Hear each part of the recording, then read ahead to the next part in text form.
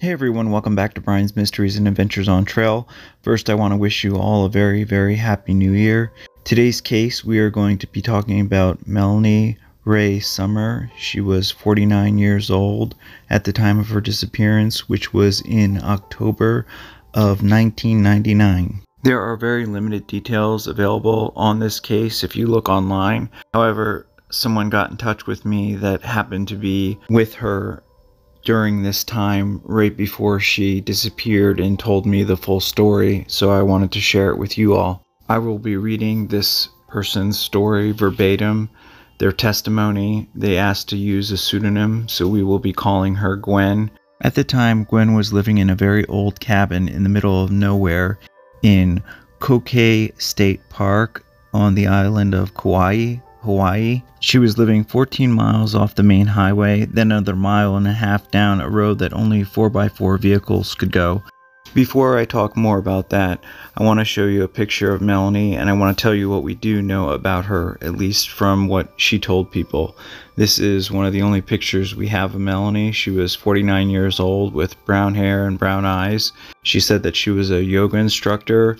Apparently, she had just recently moved to the islands because she was in an abusive relationship. She was living in the state of California. She had been married for some time. It is unknown whether she left with his knowledge or not. However, she traveled to the state of Hawaii. She eventually met a man. He was working as a chiropractor. She offered to do some work around the house. She eventually moved in with him. We don't really know the specifics. From what she told Gwen, they had some sort of falling out. She had left just very recently in the October of 1999 and she wanted to go off and go camping and hiking. Gwen was living a few miles down the road from Mount Waialeale, which is considered to be one of the wettest spots on Earth. It gets an, a tremendous amount of rainfall. These are all pictures in and around the area. And now I'm going to tell you in her words what happened. Gwen's fiance lived another two miles away from her, again down another 4x4 road. He had a next door neighbor named Pat. She was an older woman in her 70s who lived alone, but had two very successful businesses in the nearby town. Gwen was at work one day, and her boyfriend Bill called her and said something weird happened. Pat, the neighbor, the woman that with these businesses, called him to say some strange woman just drove her car into her backyard and she's knocking on the back of my house and I'm scared. Pat told Bill that she was so scared she held the woman at gunpoint until Bill came over. Bill said he then he came over, he guided the woman, Melanie, to his cabin. Melanie said someone told her that she could just drive her car up to Kokee State Park, choose any one of the side roads, and just park there and camp anywhere she wanted. Well, these were only half truths. There are campgrounds, yes, but permits are actually required along with appropriate vehicles, which she did not have. The road conditions can be extreme in these areas. Bill, being the nice guy that he was, knew that this woman would need to spend the night until the next day when he could figure out how to get her car out of its predicament, which was stuck in the mud behind Pat's house. Bill then asked Gwen to stay at his cabin that night because he didn't want to be alone with a stranger, which she found cute because she said, quote unquote, girls are usually afraid to be alone with strangers. So she stopped by on her way home from work at his cabin that night. Bill had shown Melanie to the spare bedroom.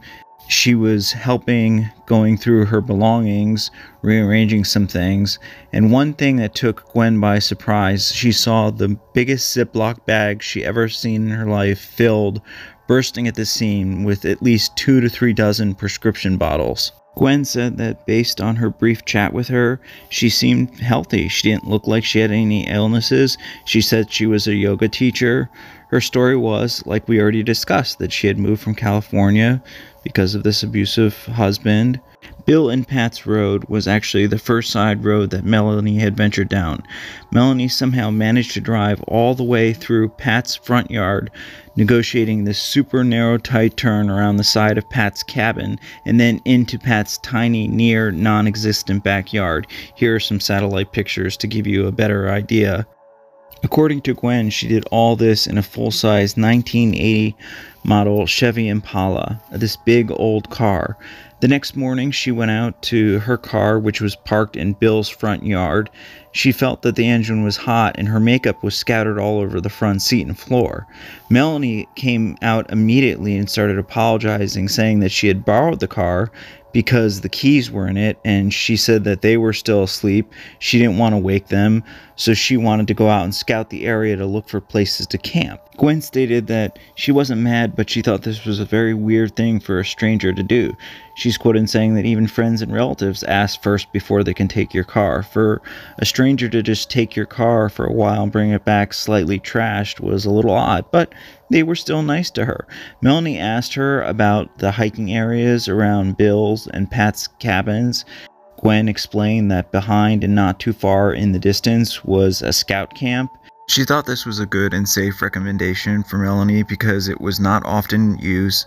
She knew it had bathrooms, sometimes running water or showers. She explained a few other trails that are near this camp. Based on what Melanie had told her, Gwen figured that she just wanted to go on a day hike, possibly an overnight. That's why she recommended these trails. Gwen had to leave for work roughly at 11 a.m. that morning. Bill talked to Melanie and agreed to try and help her get her vehicle out of Pat's yard. He tried starting the engine, but of course the engine wouldn't even turn on.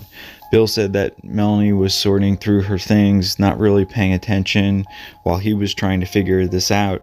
He realized that in order to get this vehicle out, they were going to have to basically cut this massive path through this very, very dense thicket made up of these very tough vines and various saplings. Melanie eventually walked back over to Bill and asked what was going on. He explained that her car wouldn't start. It would take them roughly two to three days to build this path where he could get the vehicle down to his Jeep, where then he would try and jumpstart it.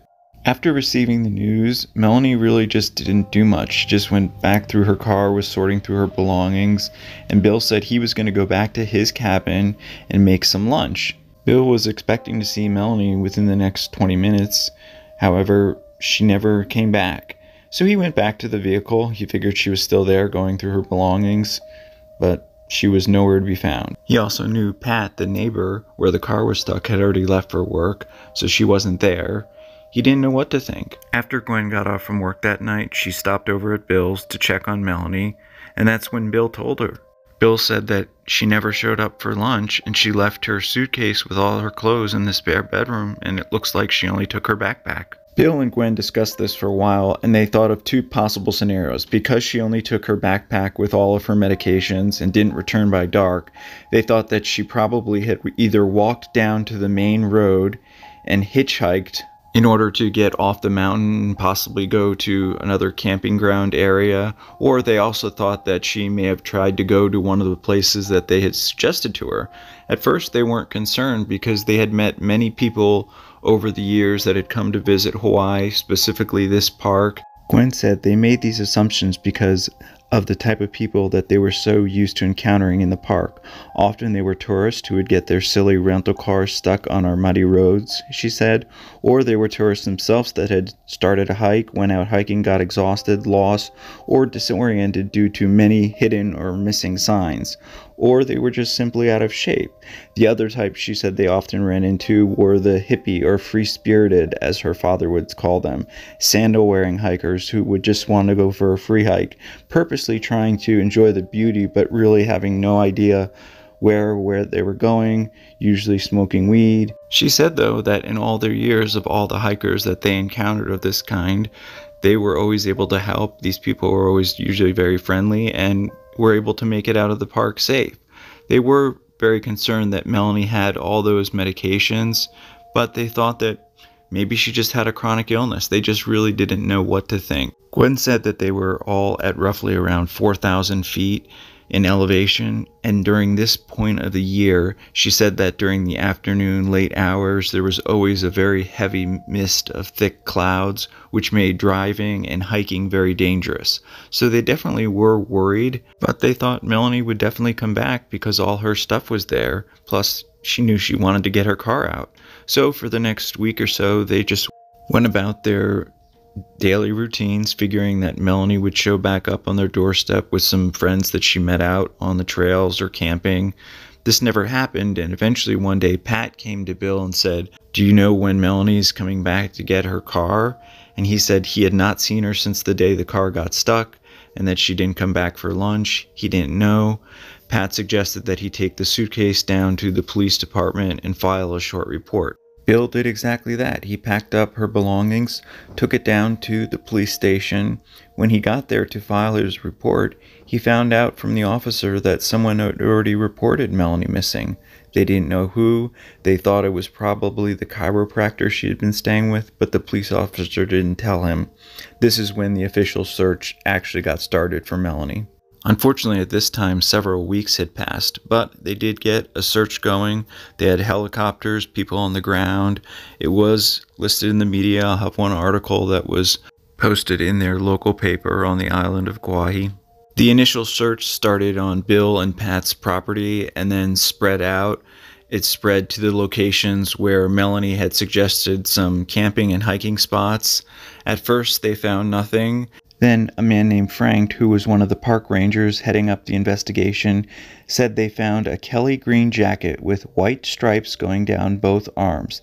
The park ranger brought it to the cabin to see if they could identify it as Melanie's. Gwen said that she had no doubt in her mind she could identify it immediately. She specifically remembered because she complimented Melanie on it. She thought it was a nice jacket. The ranger told Gwen that he had found the jacket on the trail leading up to the scout camp that Gwen had recommended. Gwen's heart sank because she remembered that night it had gotten so cold that they had had to light their wood burning stove. The ranger said that he had found it right in the middle of the trail. It was covered in mud and leaves, looking like it had been tread upon for weeks, which he said probably had been because she'd been missing for that long. They considered a few possibilities. Maybe she had tied it around her waist, it fell off without her knowing. Maybe it was tied to her backpack and it fell off without her knowing. Or the worst case scenario, maybe something happened to her. Gwen said sadly the search only went on for another seven days or so. She recalled that during the entire three weeks that Melanie was missing, it was just pouring the entire time. Gwen stated that she really started feeling so bad about some of the assumptions that they had made in the beginning and that she wished that she would have said something sooner. However, during the entire search for Melanie, she tried to continue on with her daily life. Sometimes she would go out to dinner or meet up with friends for drinks. She said that, of course, the conversation was always the disappearance of Melanie. What could have possibly happened to her? On one of these nights, when she was out with a big group of her friends, they were all drinking, were a little drunk at the time. One of the friends relayed a story that he said had just recently happened in the United Kingdom.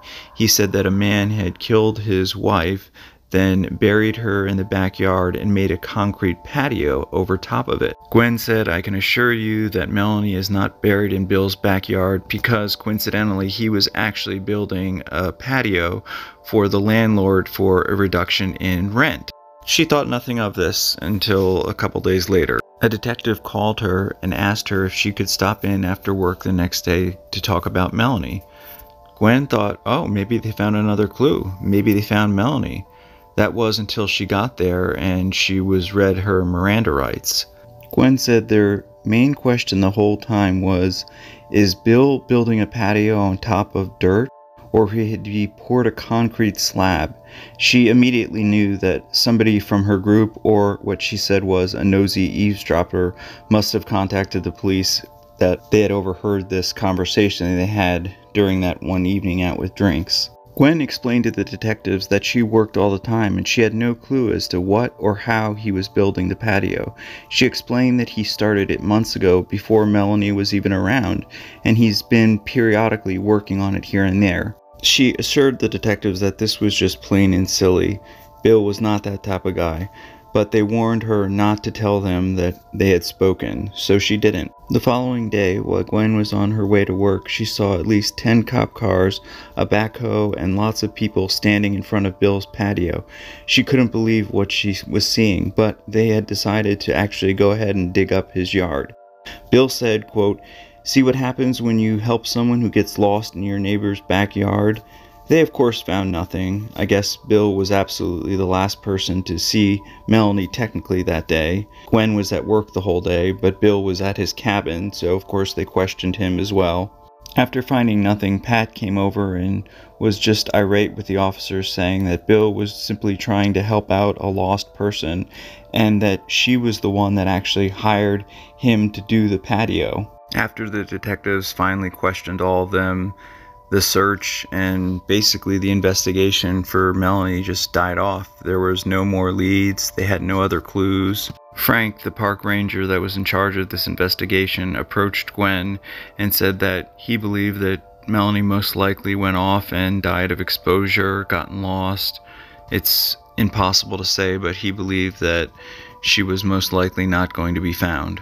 He also made several comments, such as the wildlife, like the wild boars and the myriad of hiking trails that she was most likely not familiar with. He said that even with so many people hiking these trails over the years, she's probably not going to be found. Now, the FBI also asked for these case files because roughly six months after she disappeared, there was a serial killer in the area who claimed the lives of a couple of women. He was captured. He never admitted to anything with Melanie Summer, so we don't know. But it's a possibility because the FBI stated that she fit the profile of all his other victims, sadly. According to Gwen, her old rusted car that she got stuck in Pat's backyard is still there, over 24 years later, and still having no answers to what happened to Melanie. Pat sadly died several months after Melanie's disappearance. She had a stroke and apparently was driving at the time. It was just a tragic accident. Bill she eventually parted ways with. She doesn't believe he is alive anymore. He had a serious smoking habit with three to four packs a day, and he would be in his late 70s, and without any contact, she doesn't believe him to be alive anymore. So Gwen is the last living witness of this whole tragedy. She said that the one thing that came out of this was that she has since taken a much more proactive approach to missing hikers, the dangers of the areas where she's living, been able to give hikers better advice and suggestions, and always is looking on the missing list to help if she has any information. And she does feel regret that she didn't report Melanie missing earlier because at the time, like she reported, she just thought she was out hiking and trying to find herself or something like that. Based on the Doe network and the police department, this case is still listed as unsolved. I will have information in the description for the authorities you can contact if you do possibly have any information on where Melanie Rae Summer may be. I want to dedicate this video to Melanie, Bill, Gwen, Pat, everyone that tried to help Melanie and then suffered false accusals and have had to live with that and I just hope that one day Melanie is found. I want to thank Gwen for sharing this emotional case with me.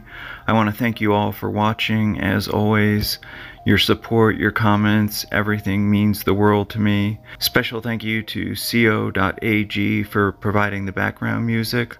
Hopefully, I'll see you all in the next one. Take care. Hey everyone, thanks for sticking with me till the end. I hope everyone had a wonderful holiday season. If you haven't subscribed, I could please ask you to consider subscribing. It's free and it really, really helps the channel. I appreciate everyone who has subscribed, your feedback, your comments, everything. If you'd like to make a donation, all that information will be in the description. I would definitely like to hear your comments on this case, what you think may have happened. Is it possible that Melanie is still out there, that she just wanted to change her life again, her identity. Who was it that originally reported her missing? Why wouldn't the chiropractor come forward if it was him? Was it the husband that came looking for her? What do you think? I want to say thank you to everyone who submitted pictures for this year's calendar. They should be in soon. Once they are, I'll let everybody know. If you are interested in possibly purchasing one, please let me know in the comments. I've already ordered the first batch, but I want to get an idea of how many more I might need to order.